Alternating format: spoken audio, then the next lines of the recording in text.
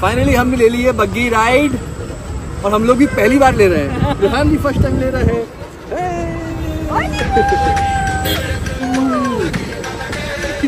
अच्छा है ना?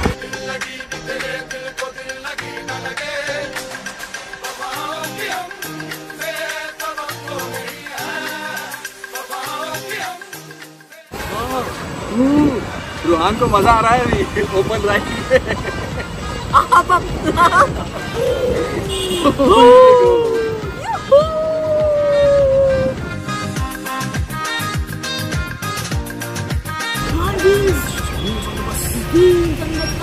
दिख रहा है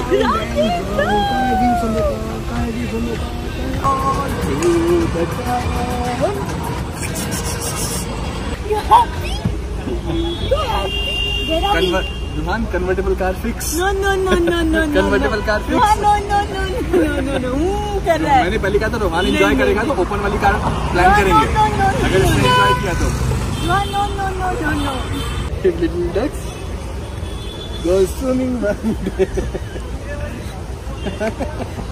ने शोएब को राइम्स याद करने पे मजबूर कर दिया है over the hill and far away तो फ्रेंड्स, आपने देखा रूहान किस तरह से बग्घी की सवारी का आनंद ले रहे हैं मुंबई की सड़कों पर।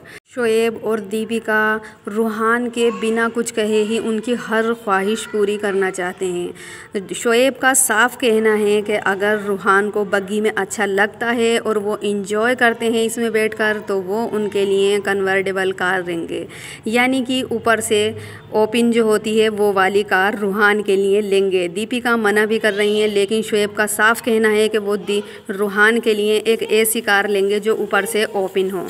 और रूहान ने बग्घी में बैठकर बहुत ज़्यादा इंजॉय भी किया। तो ये तो आगे ही पता चलेगा कि शुएब रूहान के लिए कार लेते हैं या नहीं। लेकिन वैसे फ्रेंड्स आपको वीडियो कैसी लगी? अगर अच्छी लगी हो तो लाइक करें चैनल को सब्सक्राइब करें।